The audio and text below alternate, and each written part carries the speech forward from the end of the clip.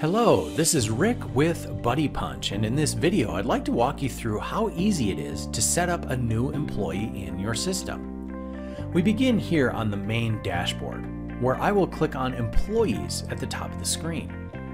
Right here you're going to see your current employee list on the left, but let's go ahead and click the blue Add a New Employee button in the upper right corner. When I do, it opens up the employee profile where you can start entering their information, including name, phone number, birth date, and other important details. Please note the only options that are required are the first name, last name, email address, and username. You'll also notice under the email address area an option to use my email.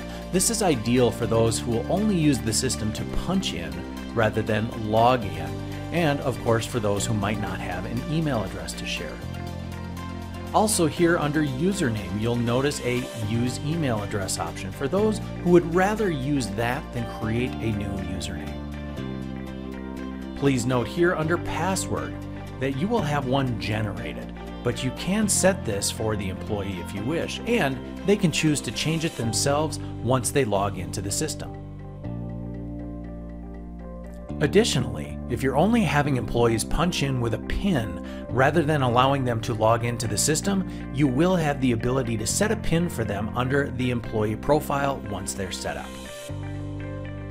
As I scroll down, you will see more settings, such as an employee ID, whether a note is required when they punch in or punch out, and even if facial recognition or GPS settings have been activated along with other optional settings.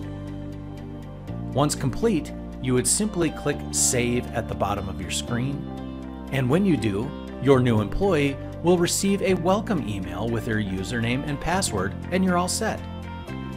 So as you can see, the new employee setup process is quite easy and very intuitive.